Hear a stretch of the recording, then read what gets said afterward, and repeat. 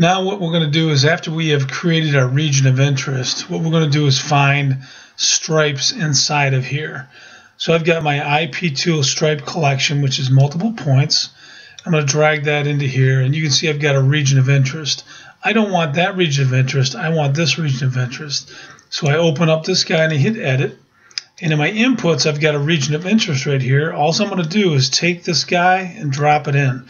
Now I'm using the region of interest from this step into here.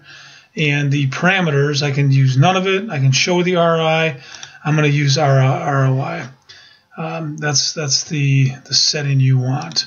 In this case, we've got uh, a number of different settings. Because as a stripe, you're going to have a, um, a first edge and a second edge.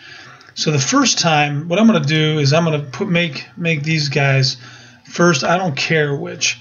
I know, uh, for example, that because I'm going to be moving from white to dark, I can put from light to dark. And then the second one would be from dark to light across there. The way I can separate these two is render style 1. I'm going to make that green, close, render style 2, which is the second piece. I'm going to make that yellow. Okay, so now we know which one is which. Okay, so now if I run this guy, what I've got here is that you can see I've got a bunch of different points. And I put a magnifying piece on here and I'll close this guy down so you can see. But as I move this guy around, I've got a bunch of different points on here that are jumping around. Doesn't look like we got a very good, um, you know, the green lines look okay, but the other ones don't. Turn my magnifying off.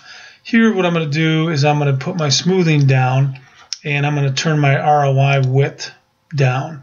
In fact, I'm going to give, turn it up so you can see what that means. So I'm going to turn show workings. If I hit apply and I hit run, what you're going to see is this guy's running along and it's jumping. It's five wide and it's jumping and taking a bunch of pieces. In that case, it worked a little better because we are jumping over. You can see this guy got a point up here, which we don't want.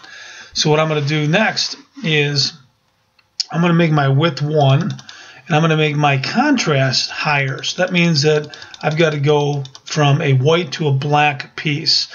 And I'm going to turn my leniency up a little bit. And if I hit run, you can see I'm doing this guy.